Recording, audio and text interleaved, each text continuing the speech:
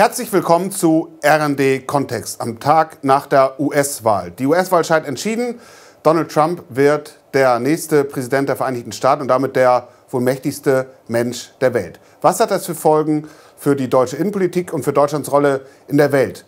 Antworten auf diese Fragen hat Andreas Niesmann, Leiter, Ressortleiter im Hauptstadtbüro des äh, RND. Ja, Andreas, heute Abend ähm, tagt der Ausschuss der Ampelkoalition. Das Ergebnis dieser Wahl heute, die Wahl Donald Trumps, hat das Folgen für dieses Jahr mit großer Spannung erwartete Gespräch?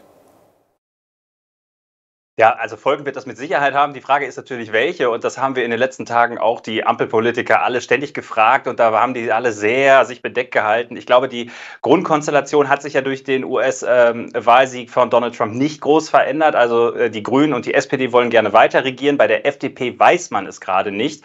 Und jetzt ist ein bisschen die Frage, führt dieses Ergebnis dazu, dass Christian Lindner seine, die Appelle an seine staatspolitische Verantwortung, dass er die etwas ernster nimmt oder dass er, dass das bei ihm nochmal so Nachdenken auslöst? Oder sogar ist es vielleicht die Chance, so das Window of Opportunity für so einen großen Wurf, von dem ja manche noch träumen, also dass man zum Beispiel sagt, Donald Trump hat ja immer gesagt, ihr müsst mehr für euer Militär ausgeben. Deutschland erfüllt gerade dieses Jahr zum ersten Mal die 2%-Quote. Also man könnte sich natürlich auch überlegen, neues Sondervermögen mehr für die Ukraine. Also dass man an diese Verschuldungsregeln rangeht und dann nochmal einen großen, entschlossenen Wurf hinlegt. Das wäre, glaube ich, das Positivszenario für die Ampel. Das Negativszenario ist, dass Lindner sagt, was interessiert mich das? Ähm, mir geht es hier um die Innenpolitik, um die deutsche Wirtschaft. Und dann, glaube ich, ist diese Koalition heute Abend am Ende. Ein paar Stunden haben die ja noch, äh, sich zu sammeln.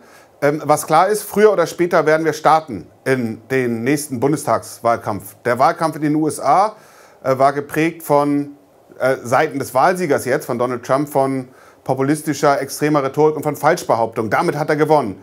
Hat das aus deiner Sicht Auswirkungen auf den Bundestagswahlkampf, der uns jetzt bevorsteht? Ja, das hat es definitiv. Und ich glaube, die Parteien wissen noch gar nicht, wie viel Auswirkungen das hat. Ich glaube, wir werden uns die nächsten Monate extrem damit beschäftigen, weil dieses ganze, ähm, wir hinterlegen Lügen, Falschnachrichten mit Fakten, da, da merkt man irgendwie, es funktioniert nicht. Es interessiert viele Leute einfach gar nicht mehr. Wie sind da die Fakten? Und darauf gibt es keine richtige Antwort bislang. Also man kann so weit gehen, der Versuch in den USA zumindest, da gibt es ja auch die großen Auswertungen von der New York Times, Washington Post etc., ähm, den muss man leider als gescheitert bewerten. Und die Frage, Frage, wie die Parteien darauf hier reagieren, die ist aus meiner Sicht völlig offen, zum, weil wir auch sehen ja, dass ähm, die Populisten in Deutschland es ja genauso machen, dass sie es mit der Wahrheit nicht so genau nehmen und äh, sie biegen, wie es ihnen passt. Und es ist offenbar so, dass es einen zunehmenden Teil der Bevölkerung einfach nicht interessiert. Dann lass uns zum Abschluss nochmal konkreter blicken auf Personen, die im Bundestagswahlkampf eine ganz entscheidende Rolle spielen werden. Die Kanzlerkandidaten respektive potenziellen.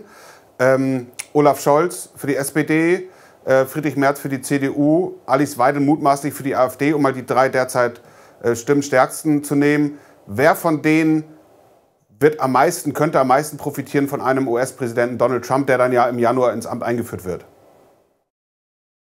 Also ich bin mir auf jeden Fall sicher, dass Olaf Scholz am wenigsten davon profitieren wird, ja, weil er war der große Joe Biden-Versteher. Biden war sein mit Abstand engster Verbündeter. Scholz ist ja auch in Europa gar nicht so gut vernetzt, hat ein äh, legendär schlechtes Verhältnis zu Emmanuel Macron und hat immer auf Biden gesetzt. Biden ist jetzt weg und Scholz Hoffnung, dass er durch Harris ersetzt würde, hat sich damit auch zerschlagen.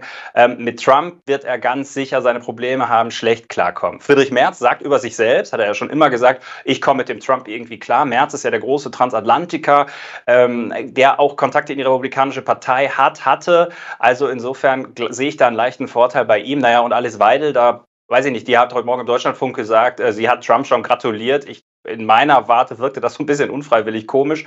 Ähm, habe ich gedacht, da wird er sich groß gefreut haben. Aber natürlich ist das ein Ergebnis grundsätzlich, was der AfD, und das merken wir auch an den ersten Äußerungen, ähm, ja, ähm, Wind unter die Flügel gibt. Andreas, ganz herzlichen Dank für diesen Kontext. Gerne, Sven. Tschüss. Tschüss. Ja, und Ihnen auch ganz herzlichen Dank für die Zeit. Bleiben Sie uns gewogen, äh, bleiben Sie bei rnd.de dabei. Da werden Sie alle Updates erfahren zu den Folgen der US-Wahl.